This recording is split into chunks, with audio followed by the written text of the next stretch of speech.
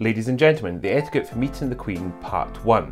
When you come face to face with Her Majesty, you should never offer any handshakes, you shouldn't even speak, and you certainly don't touch. The only thing you do is offer a smile.